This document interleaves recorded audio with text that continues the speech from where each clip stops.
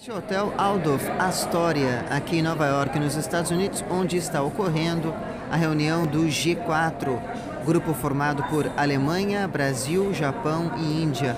Os quatro países defendem a reforma do Conselho de Segurança das Nações Unidas.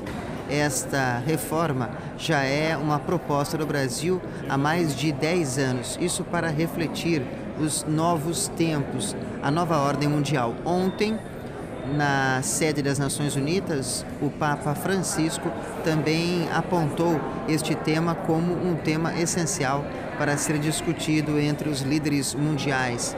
A necessidade de mudar a composição do Conselho de Segurança das Nações Unidas, que é formado por Estados Unidos, França, Reino Unido, China e Rússia, e que tem o poder de aprovar ou vetar qualquer decisão das Nações Unidas.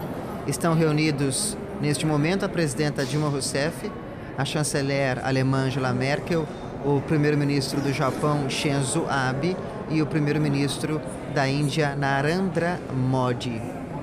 A discussão é justamente essa, uma estratégia para dar novos passos no sentido de ampliar a composição do Conselho de Segurança das Nações Unidas. Paulo La Salva, de Nova York, nos Estados Unidos.